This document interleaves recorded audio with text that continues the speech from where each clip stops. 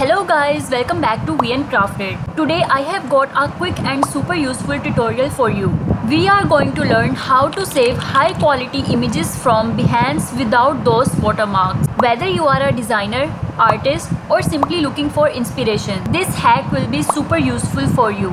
So without further time waste, let's dive right into it.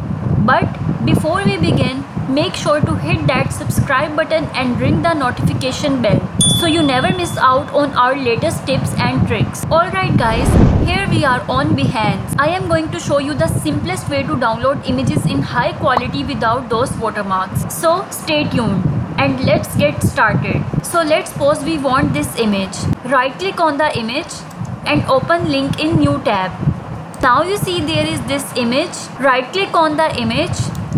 You see there is this inspect option right here.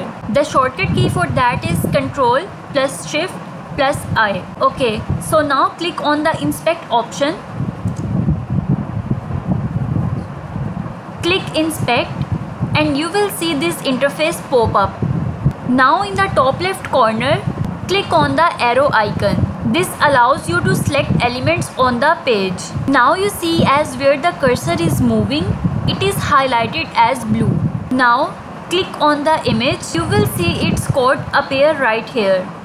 Click on this arrow, look for the IMG SRC tag. Now make sure it is start with IMG SRC. Now you see there is this link right here. Select the link, right click on this there is this option go to this link click on that. Now you see there is this image right here. Right click on the image. Now you see there is this save option right here. Click on the save image as. And now you can save this image as you want. And guys there you have it you have just learned how to save high quality images from Behance without those annoying watermarks. I hope this trick will be a game changer for your creative projects.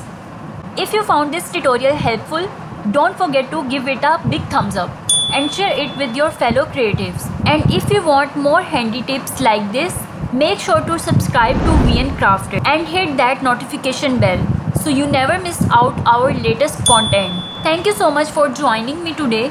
Keep creating amazing things and until next time, stay inspired.